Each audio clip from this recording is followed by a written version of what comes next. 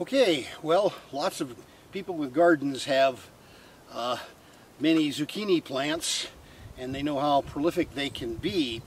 Uh, a lot of people that we've met and talked to are unaware that the gorgeous yellow flowers also, uh, well, they're a, a delicacy in Italy and we're going to show you how to harvest and prepare them. All right, uh, both the genders of the zucchini plant produce flowers, and you can see here both types. Right here is a female, which, which has the fruit attached to it, and this uh, the zucchini is about ready. To, it's a very nice little one, it'll be tender, tender and flavorful, and we'll be able to harvest the flower uh, just at the very top of the zucchini fruit. Next to it here, there is a male, and I'll show you the difference there by simply cutting off the stem. As you can see, there's no zucchini fruit on the bottom of the male uh, part of the plant.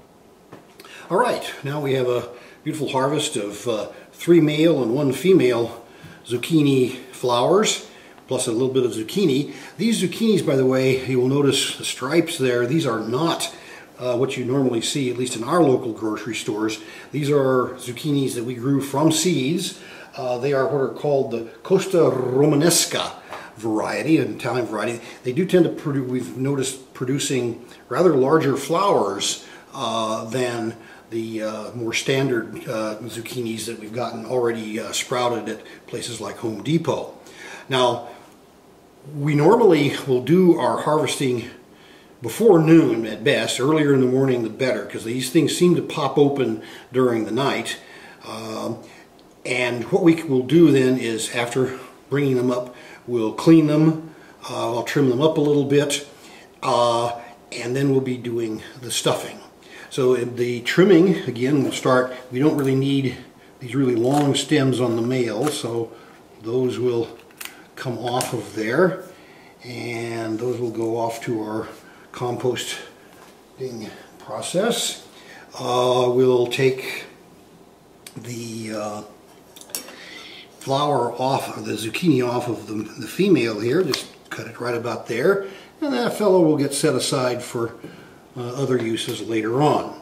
So next, each of the uh, flowers has inside it there, has a, a, the stamen or pistil stamen combos. I'm going to go in with a pair of tweezers and just pick those out.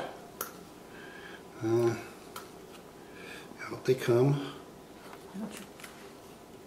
There we are. Oh, the, the males, I don't want to harry this flower too much. I'll just pull it out. It's, uh, and generally speaking, it just has the single, uh, if I can see the difference between the male and the female.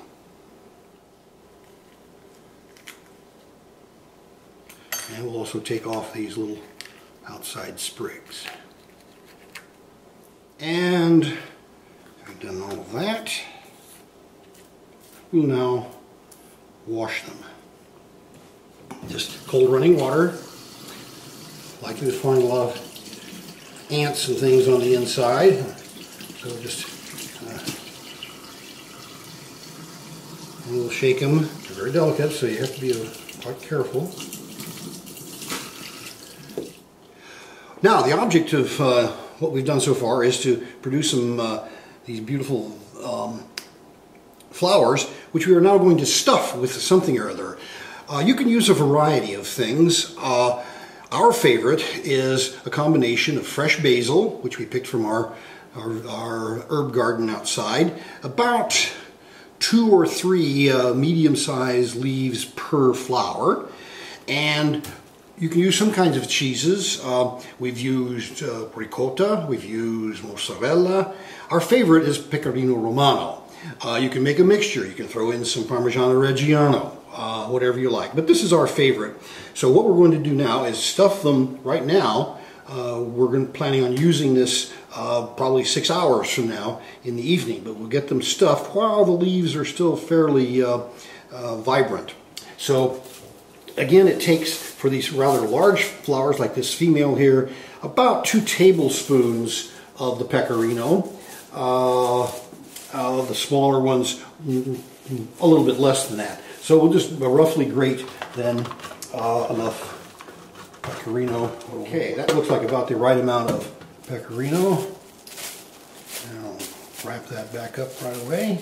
Try to handle it as little as possible correctly. Uh, we'll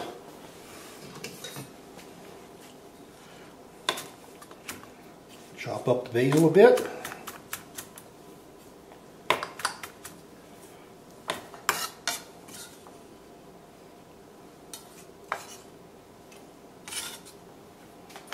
And mix them all mix them all together. I'll break up the longer strands of the pecorino. Um, some of the other cheeses you might want to add a little salt and pepper, but we find that the uh, pecorino is, in particular is quite salty, so we don't add any extra salts uh, to that. Two, that's the biggie, so about three, maybe a little more of those. Um, now, if you fail to harvest the flowers early enough, later in the day, they will clam up on you. Uh, they will close in, the leaves will become uh, a little bit brittle, and it's very hard to open them up and stuff them this way. Uh, when that occurs, don't despair. It's still possible to uh, uh rescue the situation uh, with an operation that I would um, call a C-section. You would simply come in here and make a little incision up along one of the major leaves. You can then open that up, pull out the uh, interior parts and stuff through there. Um, but today we're in good shape here and we'll just stuff them through the front end.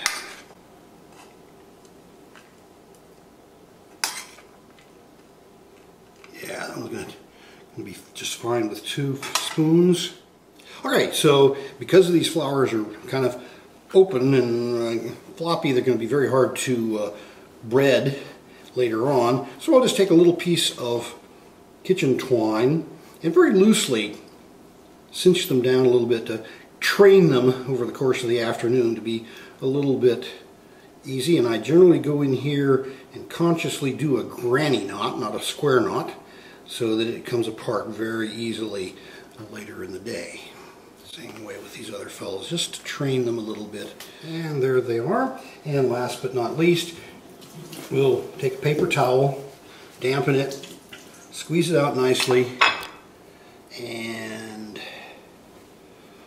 lay it over the flowers, and we'll put them into the fridge. And that'll be fine. It's, it's just noon now, and we'll be doing the, the rest of the cooking around 5, 5.30. Uh, if, if, we have found that it is possible to save these uh, overnight, certainly, so for a day and a half, but if uh, you're going to save them overnight, uh, in the afternoon, uh, redampen this cloth a little bit and then cover it with, uh, with a plastic wrap to preserve them better. So into the fridge it goes. Now I've mixed up just one egg and I have then um, some panko flour. Now we you can use you can use a tempura-like batter, or you can use regular breadcrumbs. Uh, but we like the panko with the egg wash. So we'll begin with the with the big female zucchini flower, and we'll just roll it over a few times in the egg wash, and bring it out to the panko, and gently roll it in the panko flour.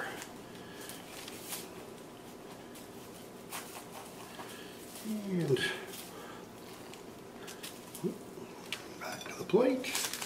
And number two. All right, now we're ready to uh, do the frying of the zucchini flowers. Uh, as I mentioned just a moment ago, you can either use the panko, and we also did a pair of them then with ordinary breadcrumbs. You could use a tempura batter. Uh, I'm going to give sort of moderate, medium-high heat here on the pan Let that warm up for just a moment. And then introduce about two tablespoons of extra virgin olive oil. Very important uh, piece of kitchen machinery is the infrared uh, thermometer. Well, you can do without that. Hmm? you can do without it. No, I won't. Uh, Nona never had one. Well, Nona never had one, but I'm a techno geek, so I'm going to use it. And we'll bring the oil up then gently to about 350. And so in go the flowers, and I frequently use support them with a little spatula here just to help get them over there without dropping too much breading off of them. In they go. A little shake. It's just a couple of minutes on each side. I've also prepared here another plate with some paper towels onto which I will place them when the frying is done. So it's about a minute or so on each side. Uh, you can also do these deep fried, but I think that's a, to me, that's a little bit uh, brutal. And it also needs an awful lot more cooking of heating up of oil. So we'll just kind of turn those over. And as you can see, they're now very beautifully browned. Just a minute or so on either side to come. And we find that for a nice snack, an hors d'oeuvre, before dinner, a couple of them a piece is just about right. So we'll let them drain for and cool. They're very hot, and then we'll repair to the living room with our white wine. Bon appetit.